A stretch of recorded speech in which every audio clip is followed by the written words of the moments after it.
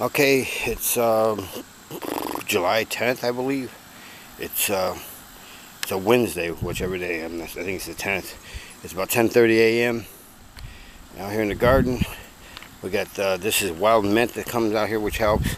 That's a big tall. Well, it's not tall yet. It's about four and a half feet. That uh, um, torch sunflower. That'll attract honeybees and all that other stuff. Still, I hope.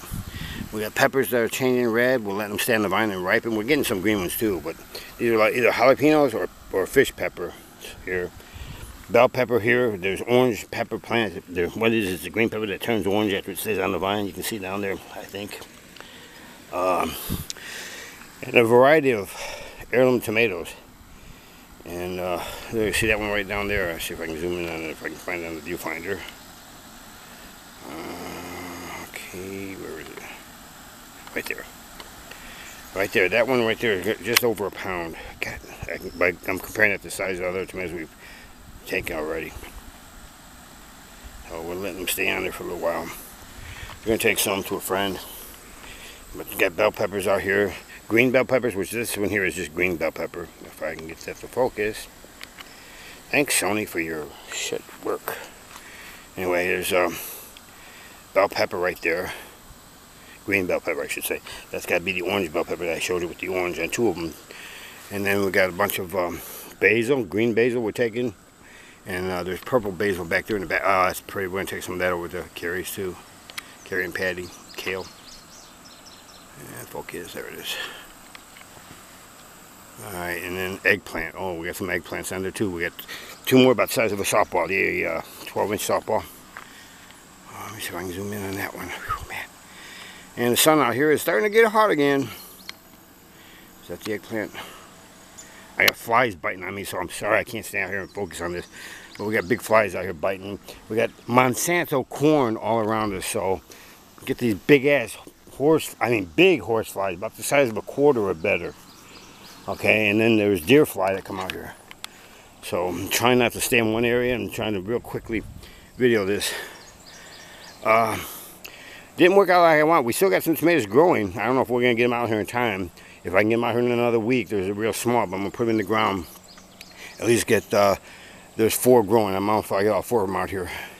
But uh, we'll see what happens. Lots of beans, lots of purple hull peas are really blowing up big time. These flies, I'm sorry. Purple hull peas are really big. Uh, let me get this solar panel in the sun better.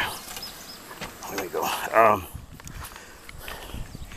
purple hull peas all this is from Heirloom Solutions too, by the way, just so you know. I mean, I love these guys. I got a call from them this morning. And uh, check it out. See all the beans that are coming up? These are, um, God, I already forgot the name again. It's the one they said was like their white bean. But I got lots of um, purple hull peas. Right there's two purple hull peas growing up. See that one back there? And the one right there, you see all the purple hulls on them? There's two there. There's two over there in the far back corner. Then that's the northeast. So, and uh, cantaloupe and watermelon, which aren't doing well, the watermelon. But I got Trail of Teal, Trail of Tear Cherokees all growing through here. And then uh, I got 10 at least purple hull pea plants I put down, two in a hole. Like I said, those are all I have two or three plant uh, peas in each hole. So we have a lot of those.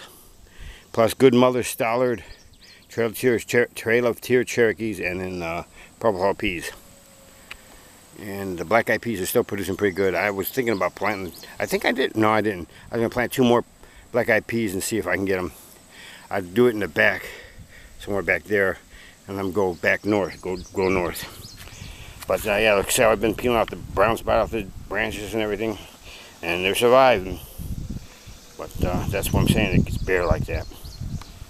These are going to flower. I got to figure out how to save this for seed if I can. This is uh, the green uh, basil flowering and the purple one here. Oh God, that purple looks pretty. Look at the flowers on them. Let me see if I can zoom in on them. Got air raid sirens going off. They've been going off for about 45 minutes to an hour now. And I would think they're practicing them. I'm pretty much. Either that or North Korea's getting ready to bomb us and I'll just vaporize. There I go. But uh, yeah, there's your purple basil. Got flowers up here on this eggplant plant here. They got more. We got more eggplant coming out, man. I'm telling you. See right there, you can just see one's getting ready to start. If I can, if I get it on the video here. Uh, I can't see on this screen for it's BS way this uh, Sony is set up. But anyway, looks like a pod. So this is with the plastic. This is where the garlic was. We got 18 out of 27. We'll do better next year. We got some zucchini coming out. Right, where's this? Let me see if I can see it. Right there, zucchini. And I saw another one. Oh, right there. Right there. Black Beauty zucchini. See, that's a purple hull pea. We pull all the pods off that. I don't know if any more will come out. I put a little bit of basil down here, but I don't think they're going to take. Uh, lettuce, this, they're just going to seed also. This is the Buttercrisp lettuce. I got to see about that, saving the seed for that. See, uh, anything heirloom, you can regrow it, uh, I believe, forever. We got broccoli back there, two different brands, but there's four plants. They're going to be going to seed because they didn't put out any broccoli because of the worms that we found out with our first successful time with getting broccoli growing outside. So that'll be next year also. Cucumbers, pathetic this year. Still hanging in there, it looks like. Got these trellises for them to grow on and everything else too there. Look at them. So, got uh, I had planted six sunflowers so that you'd have one in the front and two in the back, like a triangle, in front of those trellises. Which you can see the shape of those. These are heirloom sunflowers also.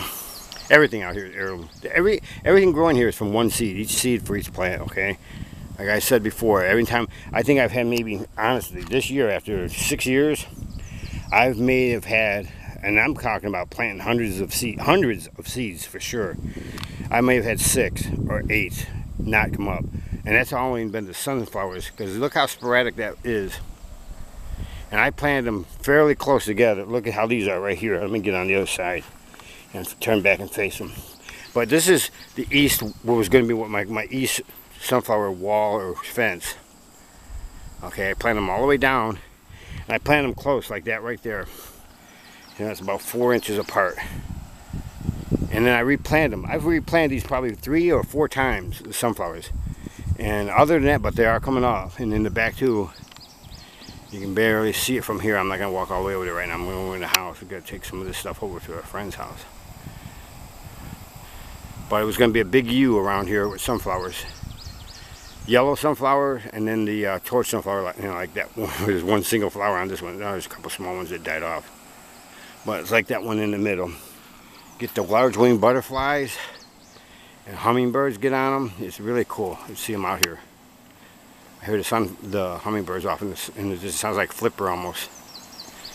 When I feed them, I go here and go. And they usually start to come out here, so when I'm feeding them with their feeders, the sunflowers, torch and the yellow, and everything else is doing decent. I mean, it's an 8 out of 10. It's been as bad as last year, 3 out of 10. And then the year before that was like 9 out of 10 eh, on a scale of good to bad. So there's an okra. There's uh, six okra growing there. They're only about 18 inches to 20, 22 inches tall. Six total. One, two, one. There's two in the back corner, two, three, four, five, five okra. Oh, six, because there's a double one right there in the middle. All right, focus. The one in the forefront, there's two right there. There's two in that back corner, like. Okay, and so there's six total, but there's three spots. Last year we had like 20 of them over here, and it was just it was impossible to get in there. But anyway, that's how it's going right now, and uh, I'll get this on there.